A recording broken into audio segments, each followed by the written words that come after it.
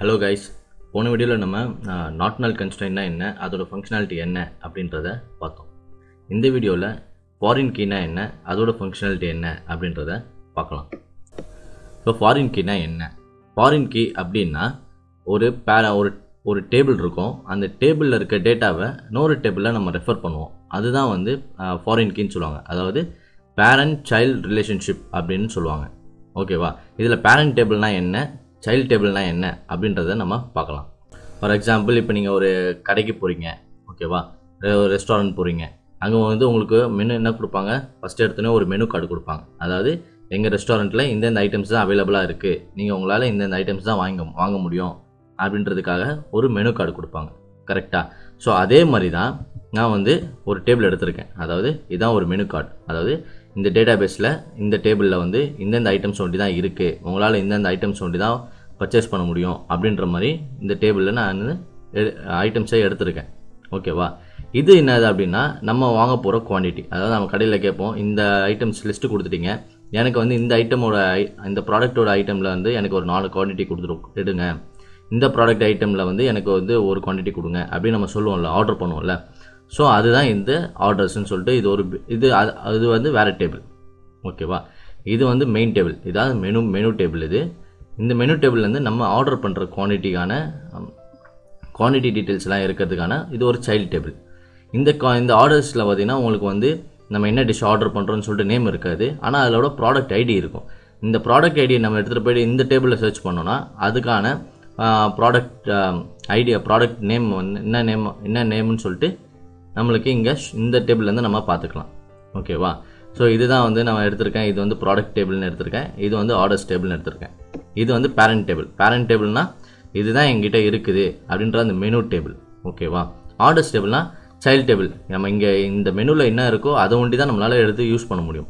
இது இல்லாமல் நம்ம எதுவுமே எடுத்து யூஸ் பண்ண முடியாது. ஓகேவா ஸோ இது நம்ம சிஸ்ட சின்டாக்ஸ் என்ன அப்படின்றத பார்த்துடலாம் அதுக்கப்புறம் நம்ம எக்ஸாம்பிளோட இது எப்படி அப்படின்றத பார்க்கலாம் ஸோ இது வந்து நம்ம முன்னாடி உள்ள கன்ஸ்டன்ட்லாம் பார்த்தீங்கன்னா நம்ம காலம் லெவல் டேபிள் லெவல்னு சொல்லிட்டு ரெண்டு டைப்பாக நம்ம எழுதியிருந்தோம். ஆனால் இந்த ஃபாரின் கீ பொறுத்த வரைக்கும் பார்த்தீங்கன்னா காலம் லெவல் கிடையாது. ஒன்லி டேபிள் லெவல் கன்ஸ்டன்ட் ஒன்று தான் நம்மளால் யூஸ் பண்ண முடியும். ஓகேவா ஸோ இதோட சின்டாக்ஸ் என்ன அப்படின்றத பார்த்துடலாம் ஸோ ஃபஸ்ட்டு நம்ம டேபிள் கிரியேட் பண்ணுறதுக்கான சின்டாக்ஸ் எப்படி யூஸ் பண்ணுவோமோ அதே மாதிரி சின்டாக்ஸ் யூஸ் பண்ணணும். ஸோ கிரியேட் நம்ம எதை யூஸ் பண்ண கிரியேட் பண்ண போகிறோம் டேபிள் கிரியேட் பண்ண போகிறோம் அதனால் டேபிள் போடணும். அதுக்கான டேபிளோட நேம் நம்ம கொடுக்கணும். ஸோ அந்த டேபிள் நேமை நம்ம இங்கே மென்ஷன் பண்ணணும். பண்ணிவிட்டு அந்த டேபிளில் என்னென்ன காலம்லாம் நம்ம யூஸ் பண்ண போகிறோமோ அந்த காலம்ஸ் கொடுக்கணும். அதோட டேட்டா டைப்பை கொடுத்துடணும். இது நம்ம நார்மலாக டேபிள் கிரியேட் பண்ணுறதுக்கான சின்டாக்ஸ் இது கொடுத்துட்டு நம்ம வந்து இதில் என்ன பண்ண போகிறோம் இது வந்து ஃபாரின் கீன்றது என்னது? ஒரு கன்ஸ்ட்ரெயின் ஸோ நம்ம கன்ஸ்ட்ரெயின் ஆட் பண்ண போகிறோம் அதனால் கன்ஸ்ட்ரெயின்னு சொல்லிட்டு கீவேர்ட் கொடுக்கணும். கொடுத்துட்டு இதுக்கான ஒரு நேம் கொடுக்கணும். இந்த இந்த ஃபாரின் கீக்கான கன்ஸ்டன்ட் நேம் வந்து நம்ம கொடுக்கணும். கொடுத்துட்டு நம்ம எந்த கீ யூஸ் பண்ணுறோம் அந்த கீயோட இது கொடுக்கணும். நம்ம ஃபாரின் கீ யூஸ் பண்ணுறதுனால ஃபாரின் கீ அப்படின்ற அந்த கன்ஸ்டன்ட்டோட அந்த கீ கீ நேமுக்கு வந்து நம்ம கொடுக்கணும். கொடுத்துட்டு இதை வந்து எந்த காலமுக்கு நம்ம யூஸ் பண்ண போகிறோம் இந்த ஃபாரின் கீன்னு கொடுத்துட்டீங்க. இதை வந்து நீங்கள் டேபிளில் எந்த காலமுக்கு நீங்கள் யூஸ் பண்ண போகிறீங்க அப்படின்ற அந்த காலம் நேமாக கொடுக்கணும். ஓகேவா கொடுத்துட்டு சரி நீங்கள் இதெல்லாம் கொடுத்துட்டீங்க. இந்த இந்த இந்த டேபிள் வந்து எந்த டேபிளை ரெஃபர் பண்ணி என்ன இந்த காலமாக வேல்யூவை எடுக்கணும்? அப்படின்றதுக்கான இதுதான் ரெஃபரன்ஸ் அதாவது இந்த டேபிள் எனக்கு ஆர்டர்ஸ் இந்த ஆர்டர்ஸ் டேபிளில் வந்து நான் ஃபாரின் கீ யூஸ் பண்ணுறேன் ஸோ அப்போ என்ன வரும் எனக்கு? இங்கே வந்து இந்த காலமில் வந்து எனக்கு ப்ராடக்ட் ஐடின்னு நம்ம கொடுத்துருவோம். இந்த கா இந்த காலம் வந்து எதை ரெஃபர் பண்ணி நான் இதை எடுக்கணும் அப்படின்றது கேட்குது ஸோ எனக்கு வந்து இந்த ப்ராடக்ட்ஸ்ன்னு இருக்க இந்த டேபிளை ரெஃபர் பண்ணி எனக்கு வந்து இந்த டேட்டாவஸ் எல்லாம் மேட்ச் பண்ணு அப்படின்றத நம்ம சொல்கிறோம் ஓகேவா ஸோ அப்போ இந்த ரெஃபரன்ஸுன்றது இந்த கீவேர்ட் கொடுக்கணும். எதை ரெஃபர் பண்ணுறோமோ அந்த ரெஃபரன்ஸ் கீ கொடுக்கணும். எந்த டேபிளை நம்ம ரெஃபர் பண்ணுறோமோ அந்த டேபிளோட நேம் கொடுக்கணும். நம்ம இங்கே வந்து ப்ராடக்ட்ஸ்ன்ற டேபிளை ரெஃபர் பண்ணுறதுனால ப்ராடக்ட்ஸுன்ற அந்த டேபிளோட நேமு கொடுக்கணும். இந்த ப்ராடக்ட்ஸுன்ற டேபிளில் எந்த காலமும் நம்ம ரெஃபர் பண்ணுறோம் நம்ம இதில் மூணு காலம் இருக்குது இந்த மூணு காலம் நீங்கள் எந்த காலம் ரெஃபர் பண்ணுறீங்க நம்ம இங்கே வந்து ப்ராடக்ட் ஐடியை ரெஃபர் பண்ணுறோம் ஸோ அதனால் இதுவும் இந்த ப்ராடக்ட் ஐடி மேட்சாக இருக்கணும். அப்படின்னா நம்ம இந்த ப்ராடக்ட் ஐடி தான் நம்ம எடுக்க சூஸ் பண்ணணும். ஓகேவா ஸோ அதனால் நம்ம இந்த ப்ராடக்ட் ஐடி தான் கொடுக்கணும். ஓகேவா இது நம்ம எக்ஸாம்பிளோட இப்போ பார்க்கலாம். நான் ஏற்கனவே சென்ட் சின்டெக்ஸ்லாம் எழுதி வச்சுருக்கேன். ஸோ ஃபஸ்ட்டு நம்ம நார்மலாக ஒரு டேபிளை க்ரியேட் பண்ணுவோம். நம்ம ப்ராடக்ட்ஸ் டேபிளில் மூணு காலம் வச்சு நான் க்ரியேட் பண்ணுறேன் ப்ராடக்ட் ஐடி நேமு ப்ரைஸ் அப்படின்னு சொல்லிட்டு மூணு காலம் வச்சு நான் வந்து ஒரு டேபிளை க்ரியேட் பண்ணுறேன் ஓகேவா எனக்கு க்ரியேட் ஆகிடுச்சு நம்ம ஆர்டர்ஸ் டேபிள் க்ரியேட் பண்ணலாம். க்ரியேட் பண்ணும்போது நம்ம இதெல்லாம் வந்து நம்ம நார்மல் டேபிள் க்ரியேட் பண்ணுறதுக்கான சின்டாக்ஸ் ஓகேவா இது இது கூட நம்ம இந்த இந்த கண்டிஷனை ஆட் பண்ணணும். அதாவது கன்ஸ்டன்ட் ஆட் பண்ணணும். அதாவது நம்ம எந்த க என்ன ஆட் பண்ண போகிறோம் கன்ஸ்டன்ட் ஆட் பண்ணணும். அதனால் கன்ஸ்டன்ட் அதுக்கான நேம் அதாவது நீங்கள் கன்ஸ்டன்ட் ஆட் பண்ண போகிறோன்னு சொல்கிறீங்க அந்த கன்ஸ்டன்ட்டுக்கு நீங்கள் ஒரு நேம் கொடுங்க அப்படின்னு சொல்லுவாங்க. ஸோ அந்த நேம் நான் வந்து கொடுக்கணும். அது நான் இதில் வந்து ஆர்டர்ஸ் பிக் எஃப்கே அப்படின்னு வச்சுருக்கேன். அதாவது ஆர்டர்ஸ் ஃபாரின் கீ அப்படின்னு சொல்லிட்டு கன்ஸ்டன்ட் வச்சு நேம் வச்சுருக்கேன். சரி ஓகே நீங்கள் என்ன என்ன என்ன கீ யூஸ் பண்ண போகிறீங்க நான் வந்து ஃபாரின் கீ யூஸ் பண்ண போகிறேன் அதனால் அந்த ஃபாரின் கீன்ற அந்த கீவேர்டு நம்ம கொடுக்கணும். ஓகே நீங்கள் எந்த காலமுக்கு இந்த கீயை யூஸ் பண்ண போகிறீங்க நான் வந்து இந்த ஆர்டர்ஸ்ன்னு இருக்க டேபிளில் இந்த ப்ராடக்ட் ஐடின்னு இருக்க காலமுக்கு தான் நான் யூஸ் பண்ண போகிறேன் ஓகேவா? ஸோ அதனால் ப்ராடக்ட் ஐடி அப்படின்றத நான் கொடுத்துட்டேன். ஓகேவா? ஓகே நீங்கள் இது கொடுத்துட்டீங்க. எந்த டேபிளை ரெஃபர் பண்ணி அதில் எந்த காலமும் நீங்கள் எடுக்கணும் அப்படின்னு நினைக்கிறீங்க அப்படின்னு கேட்குது ஸோ நான் என்ன சொல்கிறேன் எனக்கு இந்த ரெஃபரன்ஸுன்ற கீவேர்டு கொடுத்துட்டு எனக்கு வந்து ப்ராடக்ட்ஸுன்னு இருக்க ஒரு டேபிள் இருக்குது அந்த டேபிளை நீங்கள் ரெஃபர் ரெஃபர் பண்ணிவிட்டு அதில் இருக்க ப்ராடக்ட் ஐடியை நீங்கள் வந்து இது இந்த இந்த ஆர்டர்ஸில் இருக்க ப்ராடக்ட் ஐடி கூட மேட்ச் பண்ணி டேட்டா வச்சுக்கோங்க அப்படின்னு நான் சொல்கிறேன் ஓகேவா? ஸோ இப்போ நம்ம இதை வந்து டேபிளை க்ரியேட் பண்ணுவோம். ஓகேவா? இப்போ நம்மளுக்கு டேபிளை கிரியேட் பண்ண விடலை. ஏன் அப்படின்னா நம்ம ஃபாரின் கீ நம்ம எங்கேயாச்சும் ஒரு இதில் வந்து ஃபாரின் கீ நம்ம மென்ஷன் பண்ணுறோம் அப்படின்னா நம்ம இது இது வந்து சைல்ட் டேபிள் அதாவது இந்த ஆர்டர்ஸ்ன்றது நம்மளுக்கு சைல்டு டேபிள் அப்படி தானே அப்போனா பேரண்ட் டேபிள் எது இருக்குது நம்மளுக்கு இந்த ப்ராடக்ட்ஸுன்றது தான் பேரண்ட் டேபிள் நம்மளுக்கு. அதாவது நீங்கள் சைல்டு டேபிளில் ஃபாரின் கீ யூஸ் பண்ணுறதா இருந்ததுன்னா இதோட இதோட பேரண்ட் டேபிளில் வந்து ப்ரைமரி கீன்ற ஒரு காலம் கண்டிப்பாக இருக்கணும். அந்த காலம் இல்லை அப்படின்னா உங்களால் சைல்ட் டேபிளில் ஃபாரின் கீயை வந்து உங்களால் கிரியேட் பண்ண முடியாது. அதுதான் இது சொல்லுது. So no matching unique or primary key for the column list ஓகேவா உங்களால் ஒரு காலம் லிஸ்ட்டில் வந்து ப்ரைமரி கீயோ இல்லை யூனிக் கீயோ இல்லை. அதனால் உங்களால் இந்த இதில் ஃபாரின் கீ கிரியேட் பண்ண முடியாது அப்படின்ற மாதிரி இது சொல்லுது. ஓகேவா ஸோ நம்ம இப்போ என்ன பண்ணோம் அப்படின்னா இந்த இந்த ப்ராடக்ட்ஸ்ன்னு இருக்க இந்த பேரண்ட் டேபிளில் ஏதாவது ஒரு காலமுக்கு நம்ம ப்ரைமரி கீன்னு ஆட் பண்ணுவோம் ப்ரைமரி கீ அப்படின்னா என்னது?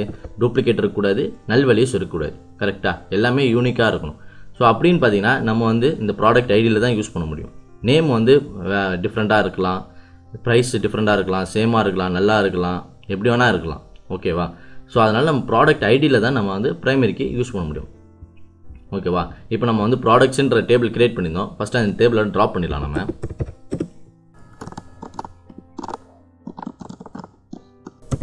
ஓகே ப்ராடக்ட் டேபிளில் வந்து ட்ராப் பண்ணியாச்சு ஸோ இப்போ நம்ம இதுக்கு வந்து ப்ரைமரி கீ நம்ம கொடுக்கணும். ப்ரைமரி கீ கொடுக்கணும் அப்படின்னா நம்ம என்ன பண்ணோம் இந்த இந்த டேபிளுக்கான ப்ரைமரி கீ எப்படி கொடுப்போம் நம்ம? ரெண்டு மெத்தட் இருக்குது காலம் லெவலில் ஒன்று கொடுக்கலாம். டேபிள் லெவலில் நம்ம கொடுக்கலாம். நம்ம காலம் லெவல்லே கொடுக்கலாம். காலம் லெவல் கொடுக்கணும்னா என்ன பண்ணணும்? கன்ஸ்டன்ட் கொடுக்கணும். கன்ஸ்டன்ட்டுக்கான நேமு கொடுக்கணும். நம்ம என்ன கீ யூஸ் பண்ண போகிறோம் அந்த கீயோ நம்ம கொடுக்கணும். கரெக்டாக ஸோ நம்ம கன்ஸ்டன்ட் கொடுக்கணும். கன்ஸ்டன்ட்டுக்கான நேமை கொடுக்கணும். நம்ம என்ன கீ யூஸ் பண்ண போகிறோமோ அந்த கீயை நம்ம கொடுக்கணும். நான் வந்து கன்சென்ட் யூஸ் பண்ணுறேன் அதோட நேம் கொடுத்துட்டேன்.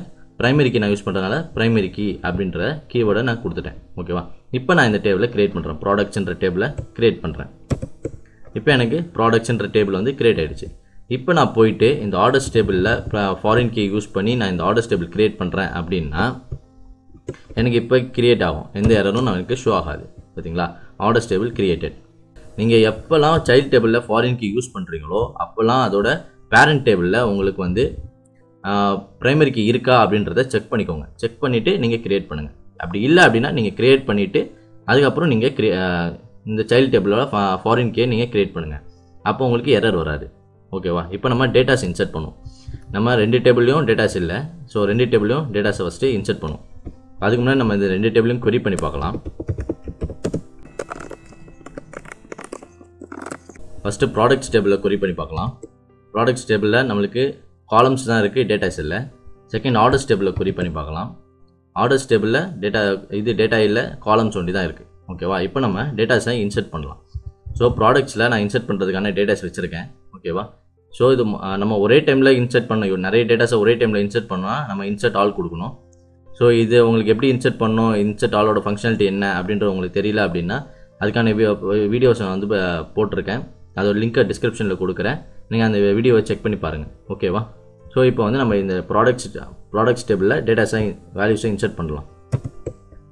ஸோ எனக்கு வந்து பார்த்தீங்கன்னா ஃபைவ் ரோஸ் இன்சர்ட்டட் அப்படின்னு வந்துருச்சு. இப்போ நான் போய் அந்த டேபிளில் குறி பண்ணி பார்க்குறேன் அப்படின்னா எனக்கு வந்து ஃபைவ் ரோஸ் வந்து இன்சர்ட் ஆகிருக்கும் ப்ராடக்ட்ஸ் டேபிளில் ஃபைவ் ரோஸ் இன்சர்ட் ஆகிடுச்சு ஓகேவா அதே மாதிரி நான் வந்து ஆர்டர்ஸ் டேபிள்லேயும் இதே மாதிரி ஒரு த்ரீ த்ரீ ரோஸ் வந்து நான் இன்சர்ட் பண்ணுறேன் எனக்கு த்ரீ ரோ இன்சர்ட் ஆயிடுச்சு. ஓகேவா இப்போ நான் ஆர்டர்ஸ் டேபிளில் த்ரீ ரோஸ் இன்செர்ட் ஆயிருக்கான்னு பார்க்குறேன் எனக்கு வந்து த்ரீ ரோஸ் இன்செர்ட் ஆயிடுச்சு. ஓகே இப்போ பார்த்தீங்கன்னா எனக்கு ப்ராடக்ட்ஸ் டேபிளில் பார்த்தீங்கன்னா ஆர்டர் ப்ராடக்ட் ஐடி பார்த்தீங்கன்னா டுவெண்ட்டி ஒன்லேருந்து டுவெண்ட்டி ஃபைவ் வரைக்கும் தான் இருக்குது ஓகேவா அப்படின்னா நான் என்ன பண்ணோம் டுவெண்ட்டி ஒன்லேருந்து டுவெண்ட்டி ஃபைவ் வரைக்கும் நான் அந்த சைல்டு டேபிளில் டேட்டாஸ் இன்சர்ட் பண்ணால் அதை அக்செப்ட் பண்ணிக்கும். இப்போ நான் பாருங்கள் நான் இதில் இல்லாத ஒரு ப்ராடக்ட் ஐடியை நான் கொடுக்குறேன். இன்னொரு டேபிளில் இன்சர்ட் பண்ணுறேன் அதாவது ஆர்டர்ஸ் டேபிளில் அதில் ஃபார்ட்டி ஃபைவ்ன்ற ஒரு ப்ராடக்ட் ஐடி வந்து பேரண்ட் டேபிளாக எனக்கு கிடையாது. வெறும் எனக்கு டுவெண்ட்டி ஃபைவ் வரைக்கும் தான் இருக்குது அதுக்கான ஃபார்ட்டி ஃபைவ் நான் ஒரு சும்மாவே ஒரு அதில் இல்லாத வேல்யூ நான் கொடுக்குறேன். கொடுத்துட்டு இப்போ இன்சர்ட் பண்ணுறேன் அப்படின்னா எனக்கு இன்சர்ட் ஆகாது. அதுக்கு எனக்கு எரர் வரும். என்ன அப்படின்னா பேரண்ட் கீழே பேரண்ட் டேபிளில் வந்து இது மாதிரி ஃபார்ட்டி ஃபைவ்னு சொல்லிட்டு ஒரு வேல்யூவே இல்லை. நீங்கள் என்ன பண்ணணும்? அந்த பேரண்ட் டேபிளில் இந்த ஃபார்ட்டி ஃபைவ்னு சொல்லிட்டு ஒரு ரெக்கார்டை ஆட் பண்ணிவிட்டு அதுக்கப்புறம் நீங்கள் வந்து சைல்ட் டேபிளில் ஃபார்ட்டி ஃபைவ் ரெக்கார்டை இன்சர்ட் பண்ணிங்கன்னா உங்களுக்கு இன்சர்ட் ஆகும் அப்படின்ற அப்படின்ற மெசேஜ் நம்மளுக்கு ஷோ பண்ணுது. ஓகேவா ஸோ இதுதான். இதுதான் நான் சொன்னேன். நீங்கள் ஒரு ரெஸ்டாரண்ட் போகிறீங்க அந்த ரெஸ்டாரண்ட்டில் அந்த மெனுவில் அந்த ஐட்டமே இல்லாத ஐட்டமாக உங்களால் ஆர்டர் பண்ண முடியாது கரெக்டாக ஸோ அதே மாதிரி தான் இந்த டேபிளில் எனக்கு இல்லாத ஒரு ஒரு ஐட்டம் ஒரு ஐடியா ஒரு டேட்டாவை என்னால் சைல்ட் டேபிளில் அதை வந்து எடுக்க முடியாது. ஓகேவா இதுதான் வந்து பேரண்ட் சைல்டு ரிலேஷன்ஷிப்னு சொல்லுவாங்க. ஓகேவா இப்போ நீங்கள் வந்து என்ன நினைக்கிறீங்க? எனக்கு வந்து ப்ராடக்ட்டில் இருக்கிறதுல வந்து ஒரு டேட்டா வேணாம் இப்போ எனக்கு ப்ராடக்ட்டில் வந்து இந்த டுவெண்ட்டி ஃபைவ் இருக்க டேட்டா வேணாம் இதை நான் டெலீட் பண்ணணும் அப்படின்னு நினைக்கிறீங்கன்னு வச்சுக்கோங்க. நம்ம டெலீட் பண்ணுறோம்னு வச்சுக்கோங்க இப்போ. டெலீட்டுக்கான சின்டாக்ஸ் என்ன? டெலீட் ஃப்ரம் நம்ம எந்த டேபிள் யூஸ் பண்ணுவோம் அந்த டேபிள் கொடுக்கணும் ப்ராடக்ட்ஸ் நம்ம என்ன சொன்னோம்? டெலிட் யூஸ் பண்ணால் வேர் கண்டிஷன் கண்டிப்பாக கொடுக்கணும். கொடுக்கல அப்படின்னா அது என்ன பண்ணும்? மொத்த டேட்டாவையும் டெலீட் பண்ணிவிடுன்னு சொன்னேன். கரெக்டாக ஸோ நம்ம வேர் கண்டிஷன் கொடுக்கணும். வேர் ப்ராடக்ட் ஐடி நம்மளுக்கு product ID product ID equal to twenty five எனக்கு ப்ரோ டுவெண்ட்டி ஃபைவ்னு இருக்கிற ப்ராடக்ட் ஐடியை ஃபஸ்ட்டு டெலீட் பண்ணிவிடு அப்படின்னு நம்ம சொல்கிறோம் அதாவது பேரண்ட் டேபிள் ப்ராடக்ட்ஸ்ன்ற பேரண்ட் டேபிளில் இருக்க ப்ராடக்ட் ஐடி டுவெண்ட்டி ஃபைவ்னு இருக்கிறத டெலீட் பண்ணிவிடு அப்படின்னு நம்ம சொல்கிறோம் இப்போ நம்ம டெலீட் பண்ணுறோம் அப்படின்னா நம்மளுக்கு பேரண்ட் டேபிளில் டெலீட் பண்ண விடாது. ஓகேவா? அது என்ன சொல்லுது அப்படின்னா நீங்கள் வந்து இப்போ பேரண்ட் சைல்டு ரிலேஷன்ஷிப்னு கொடுத்துட்டீங்க. அப்போ என்ன ஆகும்? இந்த ரிலேஷன்ஷிப் இருக்கிறதுனால உங்களால் பேரண்ட் டேபிள்லேருந்து ஒரு டேட்டா கூட உங்களால் டெலீட் பண்ண முடியாது. நீங்கள் அப்படி டெலீட் பண்ணணும் அப்படின்னா ஃபஸ்ட்டு அந்த ஃபாரின் கீன்ற அந்த கன்ஸ்டன்ட் நீங்கள் ஆட் பண்ணீங்கல்ல அந்த கன்ஸ்டன்ட்டை ஃபஸ்ட்டு ட்ராப் பண்ணிவிடுங்க இல்லைன்னா டிசேபிள் பண்ணிவிடுங்க பண்ணிவிட்டு வந்துட்டு நீங்கள் இதை டெலீட் பண்ணிங்கன்னா உங்களுக்கு டெலீட் ஆகும் அப்படின்றத சொல்லுது. ஓகேவா? ஸோ நீங்கள் வந்து ஃபாரின் கீ கொடுக்குறீங்க அப்படின்னா பேரண்ட் டேபிளில் கண்டிப்பாக ஃபஸ்ட்டு ப்ரைமரி கீன்றத இருக்கணும். ஓகேவா இது ஃபஸ்ட் பாயிண்ட் செகண்ட் என்னென்னா நீங்கள் ஏதாவது ஒரு டேபிள் ஒரு டேட்டாவை பேரண்ட் டேபிளில் டெலீட் பண்ணுறீங்க அப்படின்னா அவங்களால டெலீட் பண்ண முடியாது. ஏன்னா இது வந்து பேரண்ட் சைல்டு ரிலேஷன்ஷிப்பில் இருக்கனால உங்களால் டெலீட் பண்ண முடியாது. நீங்கள் என்ன பண்ணணும்? அந்த ரிலேஷன்ஷிப்பை ஃபஸ்ட்டு பிரேக் பண்ணிவிட்டு அதுக்கப்புறம் நீங்கள் வந்து இது வந்து தனி டேபிள் ஆர்டர்ஸ் வந்து தனி டேபிள் அது மாதிரி ஆக்கிட்டு நீங்கள் வந்து டெலீட் பண்ணால் டெலீட் ஆகும்.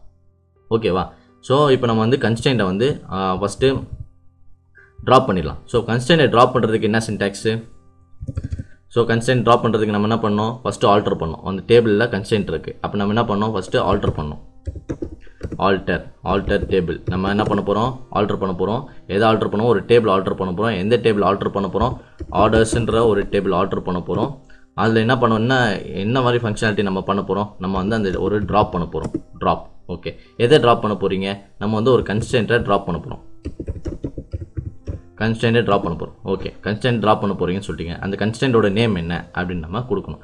நம்ம கன்ஸ்டன்ட்டோட நேம் என்ன அப்படின்றத பார்க்கணும் அப்படின்னா நம்ம இந்த யூசர் அண்டர் ஸ்கோர் கன்ஸ்டன்ட்டில் போய் பார்த்தா தெரிஞ்சிடும் நம்மளுக்கு. யூசர் அண்டர் ஸ்கோர் கன் கன்ஸ்டன்ட்டில் டேபிள் நேம் வந்து ஆர்டர்ஸ் ஏன்னா ஆர்டர்ஸ்ன்ற டேபிளில் தான் நம்ம கிரியேட் பண்ணியிருக்கோம். ஸோ அதனால் ஆர்டர்ஸ்ன்ற டேபிளில் ஏதாவது கன்ஸ்டன்ட் இருந்துச்சு அப்படின்னா அது நம்மளுக்கு ஷோ பண்ணும். நம்ம இப்போ போய் பார்க்கலாம். நம்மளுக்கு வந்து ஆர்டர்ஸ் எஃப்கே அப்படின்ற ஒரு கன்ஸ்டன்ட் நேம் இருக்குது ஸோ அந்த கன்ஸ்டன்ட்டோட நேமை நம்ம இங்கே கொடுத்துடலாம். ஓகேவா அதாவது நான் வந்து டேபிள் ஆல்டர் பண்ண போகிறேன் அதனால் ஆல்டர்ன்ற கமாண்ட் எடுத்திருக்கேன். நம்ம எதை ஆல்டர் பண்ணோமோ டேபிள் ஆல்டர் பண்ணணும். அதனால் டேபிள்ன்ற அந்த கீவேர்டு கொடுத்துட்டேன்.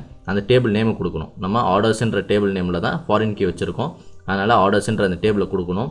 நம்ம என்ன பண்ண போகிறோம் என்ன ஃபங்க்ஷனாலிட்டி பண்ண போகிறோம் ட்ராப் பண்ண போகிறோம் ஸோ அதனால் ட்ராப்ன்ற இந்த கீவேர்டு கொடுத்துட்டு நீங்கள் எதை ட்ராப் பண்ண போகிறீங்க நீங்கள் டேபிளை ட்ராப் பண்ண போகிறீங்களா இல்லை காலமாக ட்ராப் பண்ண போகிறீங்களா இல்லை என்ன பண்ண போகிறீங்க அப்படின்றதுக்காக கேட்குது ஸோ அதனால் நம்ம வந்து ஒரு கன்ஸ்டன்ட் ட்ராப் பண்ணுறதுனால கன்ஸ்டன்ட்டுன்னு கொடுத்துக்கணும். ஓகே கன்ஸ்டன்ட் ட்ராப் பண்ண போகிறீங்க எந்த கன்ஸ்டன்ட் ட்ராப் பண்ண போகிறீங்க இப்போ ஒரு டே இந்த ஆர்டர்ஸ்னு டேபிளில் இன்னும் நிறைய கன்ஸ்டன்ட் இருக்குது அப்படின்னா அதுக்கு தெரியாது எந்த கன்ஸ்டன்ட் நம்ம ட்ராப் பண்ண போகிறோம்னு சொல்லிட்டு. ஸோ அதனால் எந்த கன்ஸ்டன்ட் சொல்லிட்டு நம்ம மென்ஷன் பண்ணி ஒரு நேமை கொடுக்கணும்.